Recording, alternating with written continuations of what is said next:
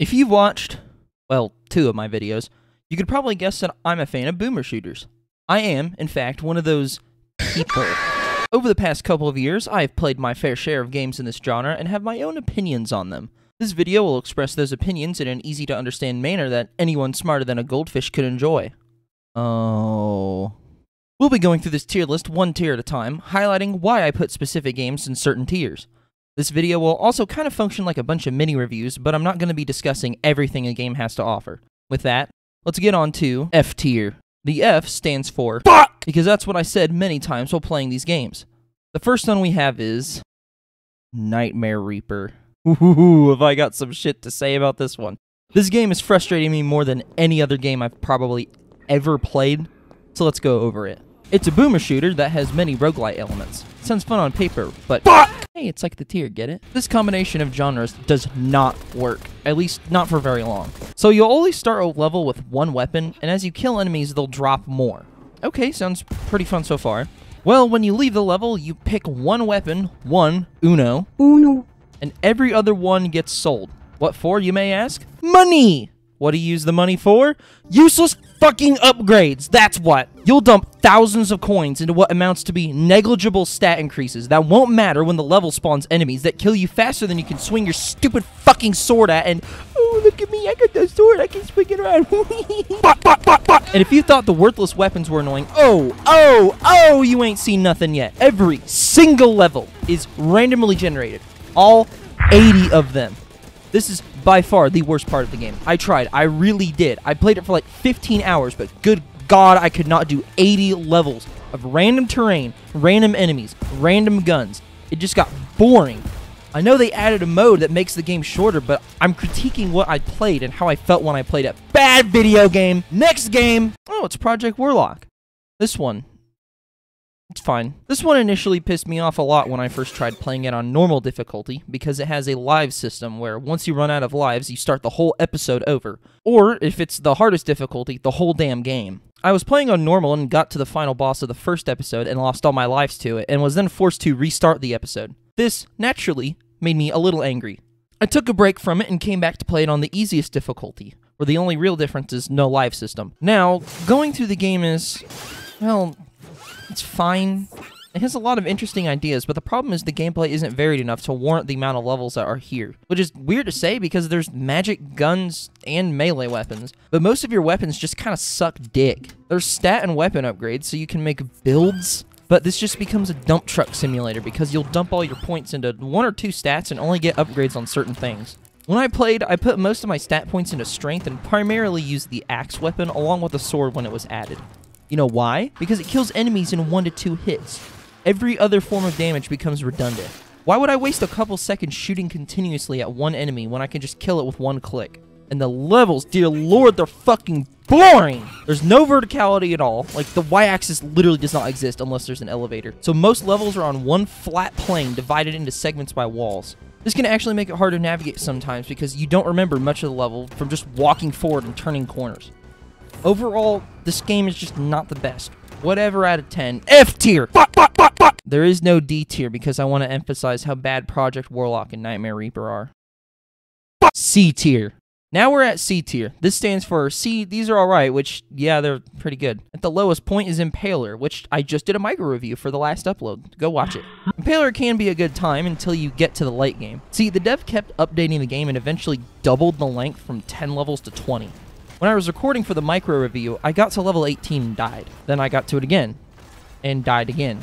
This shit was just annoying. You've got walls that damage you with the most annoying enemies in the game, and they have shields, and this stupid fucking jar steals any healing you get if you can actually kill these fuckers. Annoying! Next game, Doom. We like Doom. Everyone likes Doom. All-time classic, made the genre popular, still has a massive community dedicated to it, even to this day. 30 years later. So why put it in C tier? Glad you asked. I think every game above it on this tier list has taken what this game started and done it better in some way. It's got a wonderful soundtrack, pretty awesome guns, and some cool enemies, but the levels get a little eh at times, and there wasn't much variety in what monsters you encountered. This was all fixed in Doom 2! Now we're talking. This is almost the same as Doom 1. But double the amount of monsters, a new super shotgun, everyone's a new favorite gun for forever, and more interesting levels. Doom 2 really does outdo the first in every way, but still also has sort of the same problems as the first. Very influential, but I still feel that everything above it on this list has outdone it. Next, we got Blood. I got some mixed feelings on this one. It's got better levels in Doom 2, mainly from being a build engine title, and I think the arsenal weapons is a little more interesting. The biggest downside, though, this game is fucking hard. I've never beaten the game, let alone the first episode, and it's pretty rare for me to not finish a game anymore. Blood does not fuck around. You better be in it to win it, or bye, bye, bye. B tier. Starting off B tier, we got Post Void, another game I've already reviewed. Go watch it, that'd be pretty neat. I won't say much here because I've already reviewed it, but I will say it's pretty damn fun. I rank it above all the games in C tier simply because I had more fun with it, even if I've played it less. It's just a good time all around. Next is Hrot. I don't want to say much on this yet because I do plan on giving it its own review, but I will say it's pretty good. I like the weapons and levels are very atmospheric, but the lack of any story makes it a little hard to get invested. Next game! Oh, now we're talking. The first Quake, the original successor to Doom, and one of my favorite shooters of the 90s. This is just a good time all around. We got a wonderful set of weapons, with the most powerful being the explosives, and a great cast of enemies. Sure, the levels might be more brown than the average shooter from 2009, but it don't matter. This is Quake, bitch. We don't care about any other color scheme. We blowing shit up, pressing buttons, killing shamblers with an axe. I actually did that once. Fuck yeah! Moving on, I would like to share with you an ancient Chinese secret. Pelting people with bullets is fun. Shadow Warrior understands this quite well. Shadow Warrior is interesting when compared to its contemporaries because of the sheer silliness that occurs. For one thing, there is no pistol. Instead, you'll start with a sword that kills these ninja enemies in one swing, at least on normal difficulty. You also get shurikens, which are fine, but soon you get twin Uzis, and these things are great. They only hold 200 bullets, but this actually works quite well because the game seems to have a glass cannon designed for everything, including you. Everything does huge damage, but nothing has very much health. This makes the Uzis work well because you may go through the ammo quick, but you'll also replenish it just as quick, since it's a fairly common drop from enemies. Not much else I want to say on it, it's just a good time. Now we've got a true successor to Quake. Wrath, Aeon of Ruin, is not finished yet. But that's fine. We don't care about the game being done, we care about the game being good. This game apparently runs on the same engine as the original Quake, but you can hardly tell because these environments are much more detailed and colorful than Quake. The baddest dude to ever tood, Duke Nukem, had a very good start in the 90s, and then fucked it all up in the 2000s. But that game doesn't exist to me. The only Duke that matters is the one that's killing alien bastards at his local McDonald's. This is definitely my favorite of the games in B tier, that's why it's at the top, because it's just so damn fun. Everything about it is just made to be as cool as possible, and it achieves that. Every weapon, from the pistol to the Devastator, kicks ass in the raddest of ways. The enemies are all fucking aliens, which is cool, until these guys show up. And the levels have that build engine charm that makes it seem less like a video game level and more like a real place. Very immersive, very cash money. End of B tier, A tier. We've arrived at A tier, which stands for assaulting my dopamine receptors, because this shit's awesome. First, we've got Dread Templar, another game I plan on reviewing in the near future. I feel like this one is kind of slept on. I wouldn't say it's a dusk killer, but it definitely hooked me enough to do a whole playthrough. What is nice is that in a game full of demons, we finally play as a guy who is specifically a demon hunter. How neat! Back to the build engine with Yi, now we're at Ion Fury. For being a modern day build engine game, it came out really good. I think this just goes to show how actually good the build engine was for the time, even if this game uses a modified version of it. I would say this plays most like Duke Nukem, but there's a lot more impact from the weapons. They're all actually pretty unique, with weapons such as the ion bow, bowling bombs, and the lover boy being twists on traditional boomer shooter weaponry. The environments are nice too, with a lot of cyberpunk themed city environments, and just like all the other build engine games, has immersive interactables like light switches to, well, add immersion. It's also nice to have a protagonist that actually speaks, even if some of the one-liners do start to wear out their welcome. Overall, woman out of 10. Now, can anyone tell me what P stands for? It's not a secret ranking on this tier list, I can tell you that much.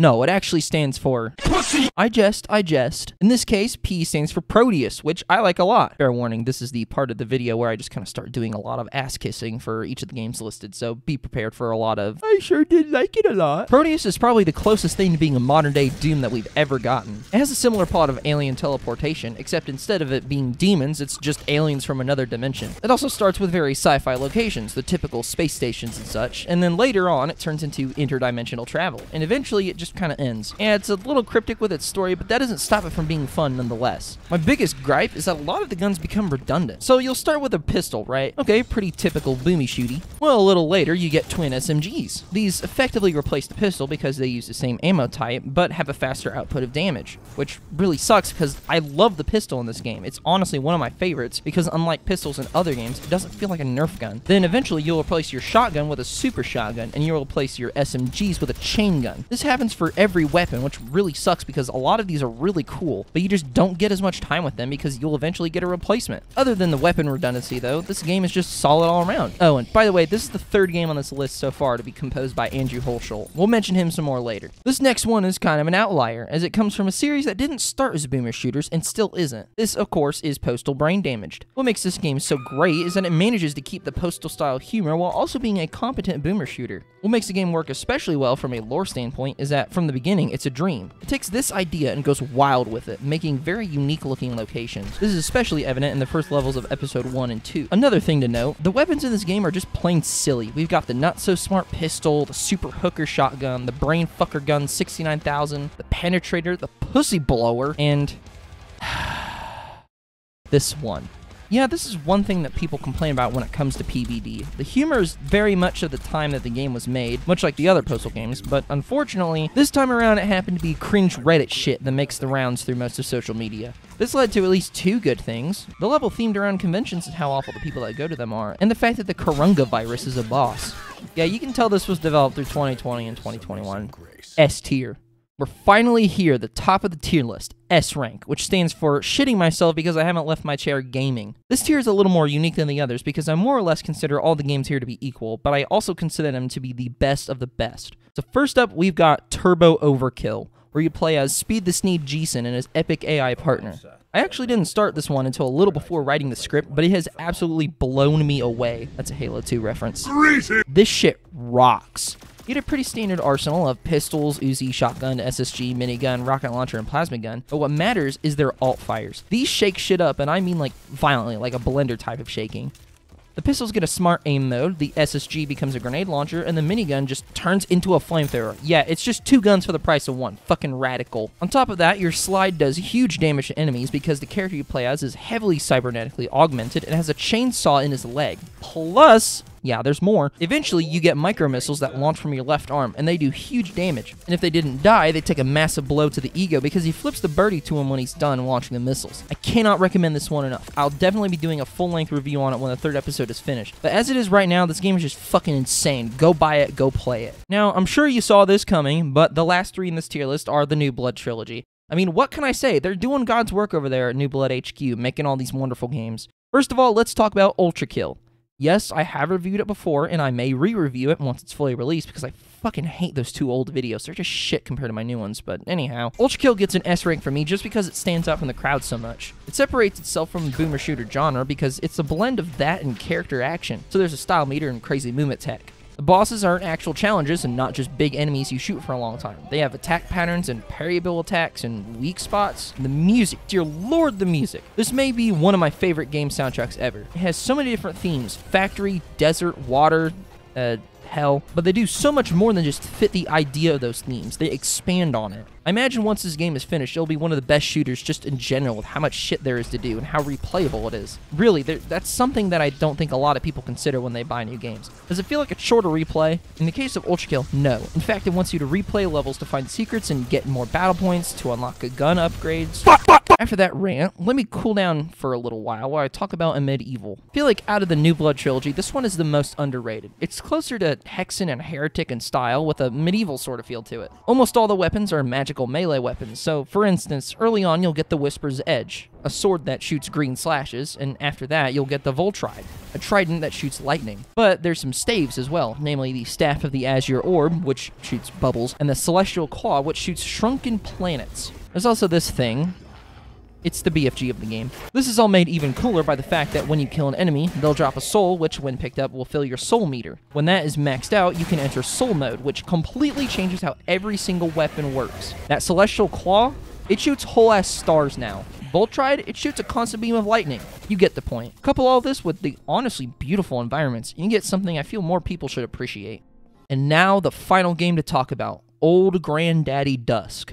What can I say that hasn't been said before? This game is a modern day classic and revitalized the boomer shooter genre, which before its release was really struggling. To me, Dusk is to the present as Quake was to the past, an adrenaline filled monster killing bloodbath. The guns are all just so solid, and nothing, I mean nothing, can beat this game's super shotgun noise. Stop it. Oh. Dual pistols, dual shotguns, an SSG, assault rifle, crossbow, hunting rifle, mortar launcher, the all holy rivet gun will carry you through 30 levels of backwoods horror done right. I will personally never forget the wake up noises of some of these monsters, like the Leathernecks breathing or the cultists chanting. Kill it. This is boomer shooter perfection, in my eyes at least. And that's my boomer shooter tier list. I'd like to hear what you guys have to say in the comments, whether you agree with me or think I'm a stupid fucking idiot who should have put Doom 1 in S tier. Do subscribe, it's a big dopamine rush to my chimpish brain, and I'll see you in the next one.